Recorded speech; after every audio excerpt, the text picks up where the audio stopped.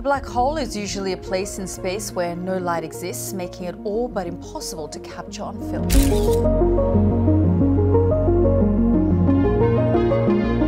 The recent revelation of a supermassive black hole pointed toward the Earth has sent chills down the spines of many people. Scientists made this unusual discovery after they noticed changes in one of our galaxies. And they have been forced to reclassify this galaxy because of this black hole at its center aiming right at our planet. Should we be worried about this previously unknown supermassive black hole that is tilted towards us? What threat do black holes pose to our existence? And would the Earth survive if it were to be swallowed up by a black hole? Join us in this video as we investigate how a supermassive black hole has suddenly shifted position to lock onto Earth.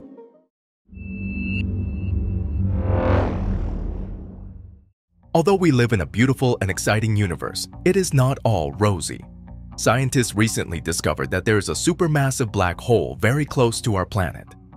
This latest spatial development was announced in March 2023 by the Royal Astronomical Society of the United Kingdom. As expected, this news has generated tension across the scientific community, forcing researchers to put on their thinking caps and return to the drawing board. It all began when a team of astronomers chose to reclassify a galaxy after they discovered that the supermassive black hole at its center had changed direction. The highlight of this activity was that the black hole was now directly facing the Earth. So, you can understand the look of surprise on their faces as they kept studying the data obtained from the high-tech telescopes. This unusual galaxy is known as PBC J 2333 9 2343, and it is positioned 657 light-years away from our planet. We owe our knowledge of this enigmatic galaxy and its black hole to the efforts of scientists at the Royal Astronomical Society. Astronomers were forced to resume study of this galaxy after it began showing peculiar properties. Dr. Lorena Hernandez Garcia of the Royal Astronomical Society revealed that scientists hypothesized that the relativistic jet of the galaxy's black hole had changed its direction. This hypothesis was born out of several investigations carried out on the galaxy and the august visitor dwelling inside. Initially, we all assumed that PBCJ 2333 9 2343 was a giant radio galaxy. Scientists had arrived at this conclusion because it had, at one point, sent out jet material from each side. To add spice to this discovery, the galaxy had measured a surprising 4 million light-years across, which was nearly 40 times the size of our galaxy. Little did they know that they were in for a shock in the coming months. While observing the galaxy, astronomers spotted an unannounced change in the space phenomenon. It had tilted by 90 degrees and was now pointing its center towards the Earth. Before now, the galaxy had been pointing into the plane of the sky, perpendicular to us. However, the noticeable transformation is that it is shining like a spotlight pointed directly at our planet. As astronomers rarely come by such a discovery, they wasted no time in reaching out to the rest of their colleagues in the scientific community to give a second, if not third, look at the observed data. This decision led to a unanimous conclusion for everyone. We no longer had a radio galaxy on our hands.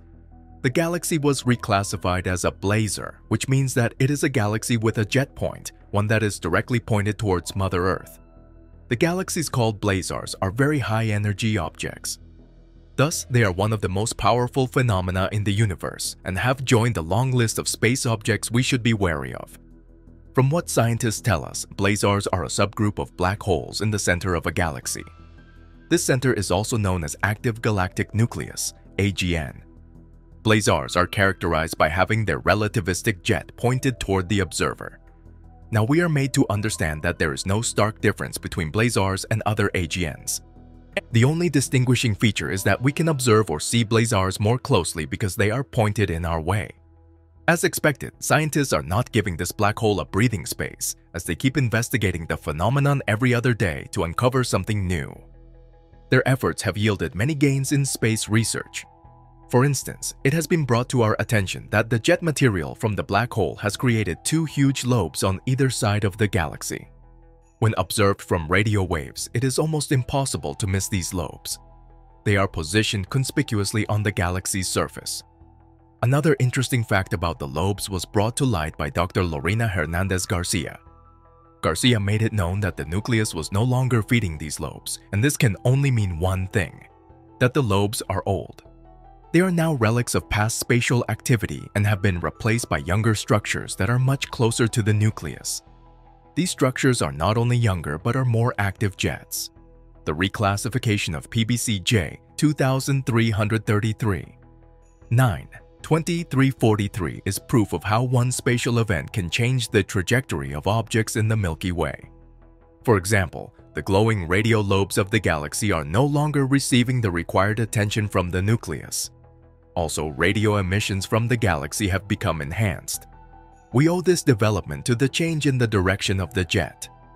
Astronomers have found out that the radio flares coming from this galaxy are so strong that they have overshadowed other radio signals coming from the rest of the galaxy and other radio galaxies in view.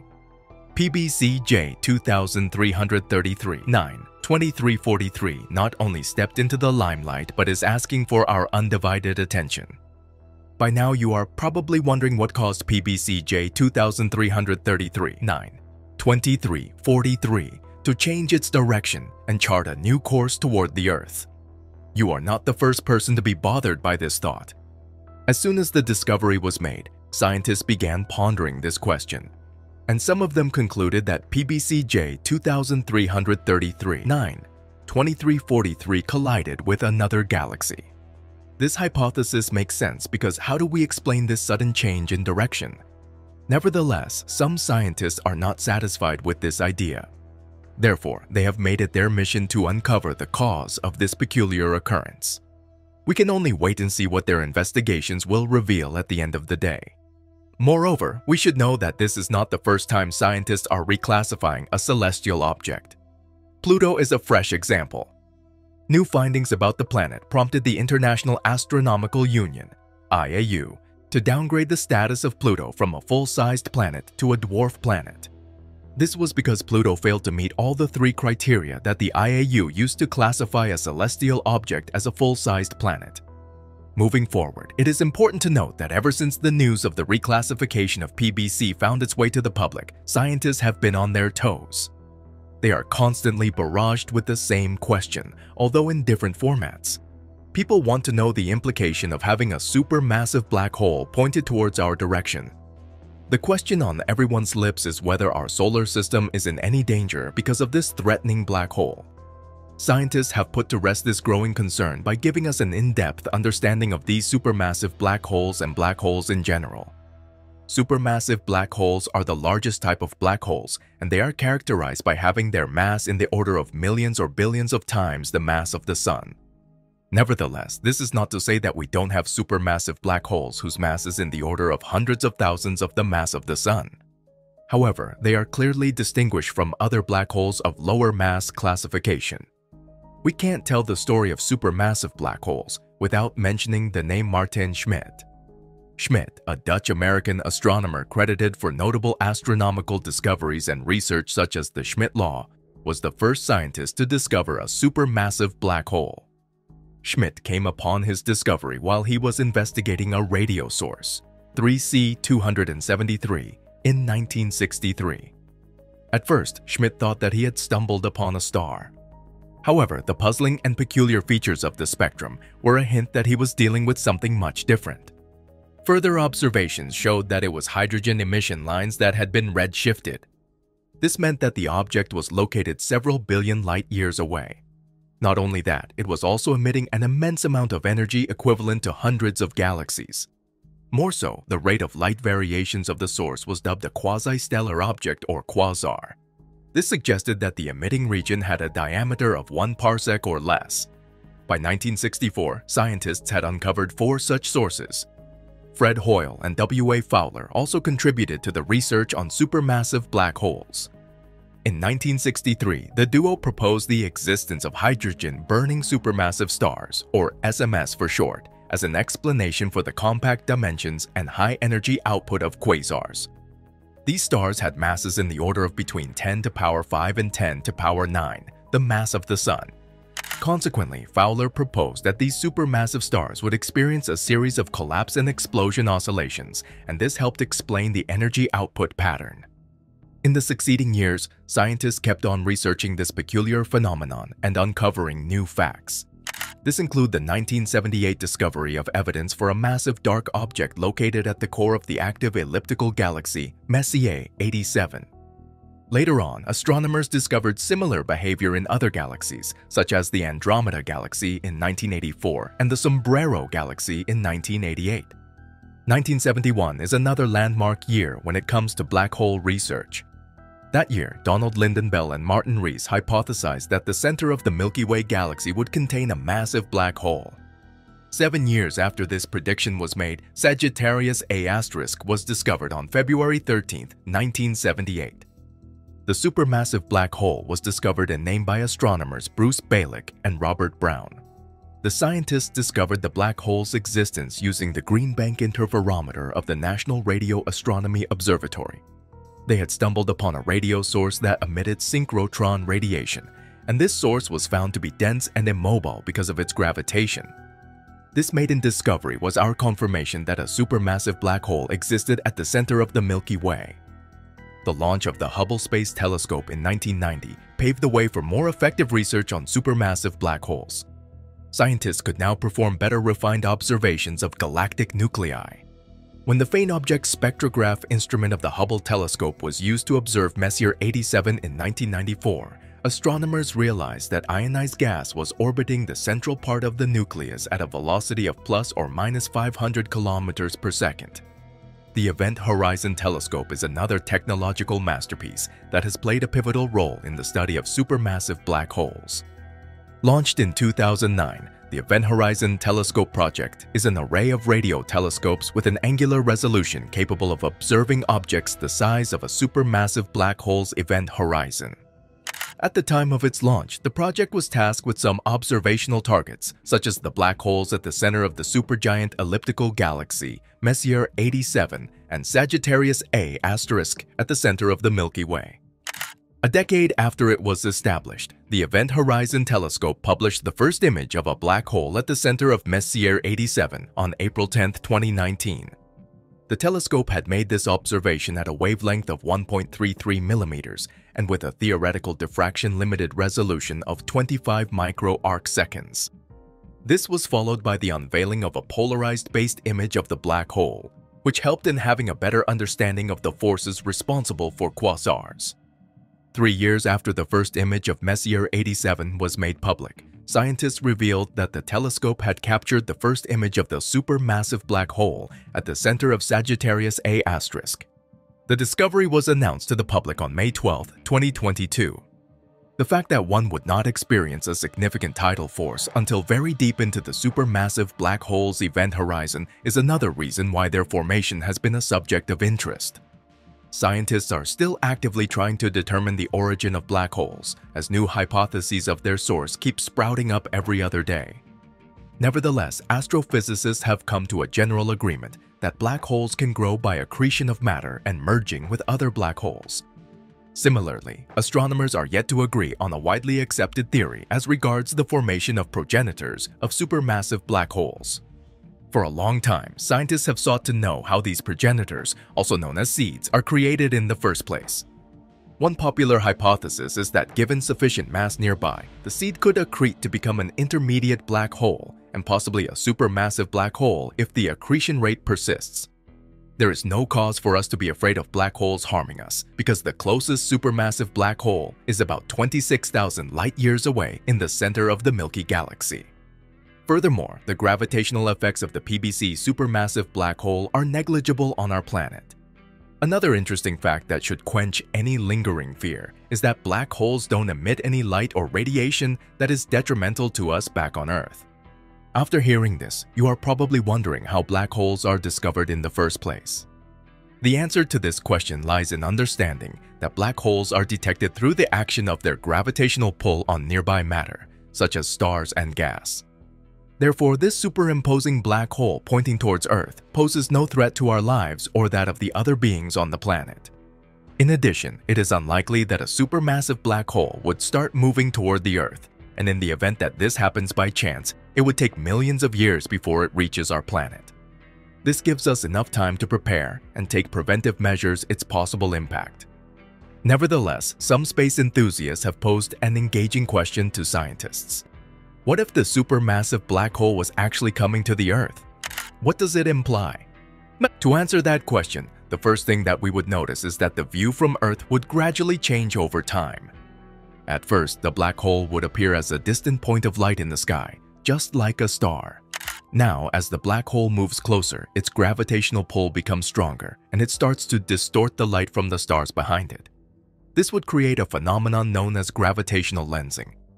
Gravitational lensing usually occurs when a massive celestial object, such as a galaxy cluster, causes a sufficient curvature of spacetime for the path of light around it to be visibly bent, as if by a lens.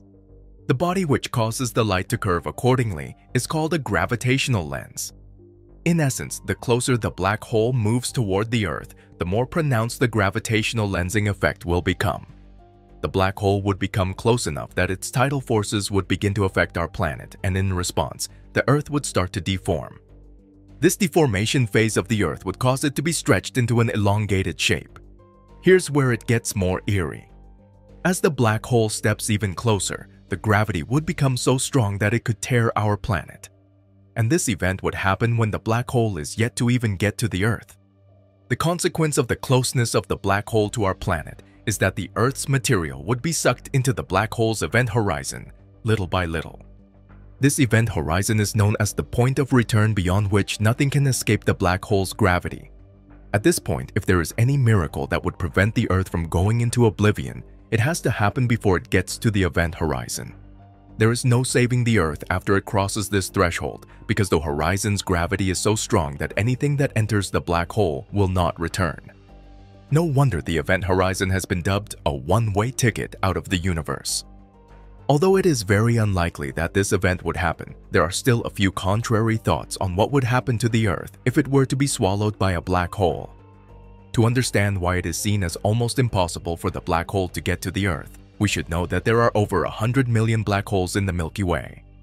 More so, it has not been easy to detect most of these black holes, Nevertheless, the emergence of high-tech space equipment such as the Hubble Space Telescope and Event Horizon Telescope has changed this narrative.